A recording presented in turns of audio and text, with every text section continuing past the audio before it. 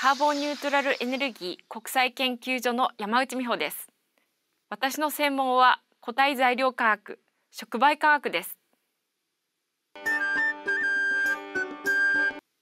私が所属する研究所では地球温暖化の問題を解決するため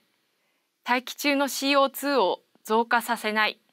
つまりカーボンニュートラルを実現するためのさまざまな取り組みが行われています。身の回りの化学製品例えばポリマー洗剤肥料などを製造するには高温にしたり圧力をかけたりと CO2 発生を伴う膨大なエネルギー投入が必要になります。私は化学反応におけるエネルギー消費を抑制するために必要な高性能の触媒の開発をしています。水素燃料電池車はご存知でしょうか？水素は燃やしても水しか出ないためクリーンな燃料ですが非常に軽い気体であるため水素を効率よく貯蔵することは非常に困難です。以前所属していた研究室では直径数ナノメートルの微小な金属のナノ粒子を使った新しい水素貯蔵材料の開発を行っていました。さまざまな粒子を作成しましたが結局高い急増能を示す粒子を得ることはできませんでした。ところが最近これまでに開発したナノ粒子は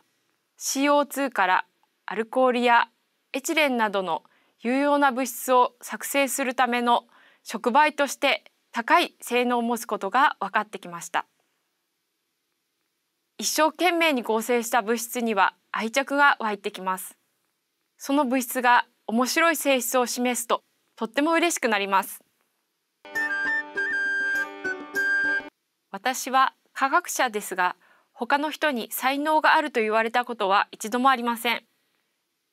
物理や数学は頭の中に数式が浮かばないと研究が進まないかもしれません。一方約100種類ある元素の中からいくつか選び新しい物質を合成したり物質の性質を調べるのが科学です。実験してみなければ何ができるかわかりません。そこが科学の魅力であり難しいところでもあります。1回の挑戦でうまく合成できなくても2回目がある。他の元素の組み合わせもあります。失敗を恐れず新しいことにチャレンジできるところ。それが私の才能だと思います。私はお酒が大好きです。お酒の席ではついポロッと本音が出てしまいます。他の人もそうだと思います。